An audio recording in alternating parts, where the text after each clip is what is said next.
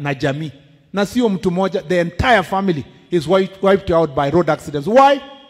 Because mwenye alikuwa amepanda hiyo bodaboda achachukua chukumu lake yeye mwenyewe, anataka kulaumu mwenye bodaboda, anataka kuwalaumu mwenye anaendesha, anataka kulaumu waziri.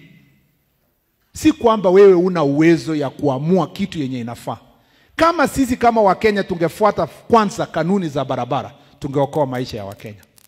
Mtu anapanda matatu ya watu kumi na nne, yeye afungi belt, yeye anaingia ni 14 sita, lakini anaona 14 people wamekaa, anasema songa songa, tupendani. Wanaongeza wanaongeza gari, wanaongeza imejaa. Alafu akiingia ndani, yeye kazi yake ni kupika picha na kuweka TikTok.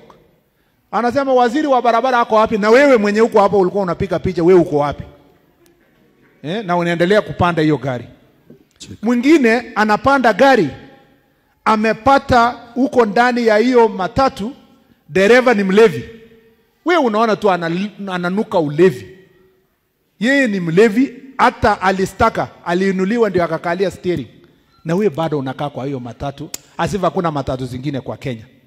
I want to request the people of Kenya if we take responsibility as the citizens and become conscious of the things we are going through, I want to assure all of you that we will be able to sort out this problem of uh, road accidents because responsibility starts with those who are going to have the highest impact of those accidents, which is you, the passenger. Tumesikizana mpaka hapo.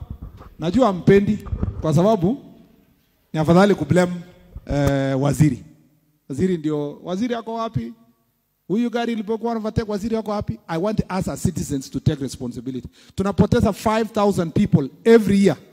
E watu elfu tano wenye wako miaka ya ile young age most of them kwa mambo ya ajali. Alafu watu karibu 30000 wako mahospitali wameumia